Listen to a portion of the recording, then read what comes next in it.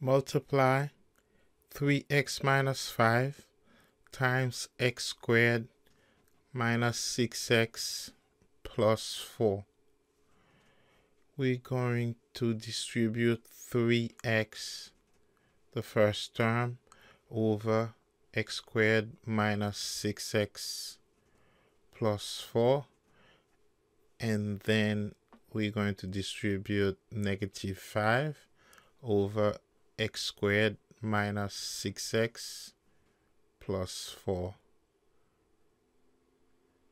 Now we're going to use distribution again.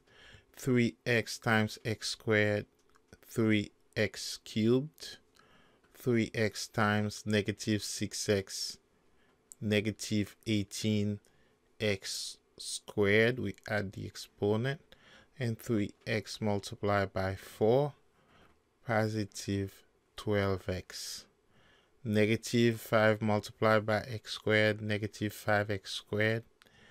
Negative 5 multiplied by negative 6x positive 30x and negative 5 multiplied by positive 4 negative 20 3x cubed is all by itself 3x cubed negative 18x squared plus negative 5x squared negative 23x squared positive 12x plus 30x positive 42x and only negative 20 is left the correct answer is A.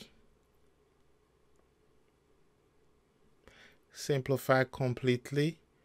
30x9 plus 8x to the 7 minus 2x to the fifth divided by negative 2x to the fifth.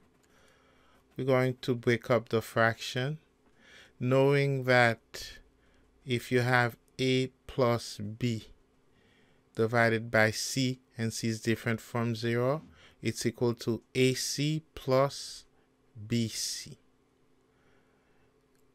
we'll get 30 x to the ninth divided by negative 2 x to the fifth plus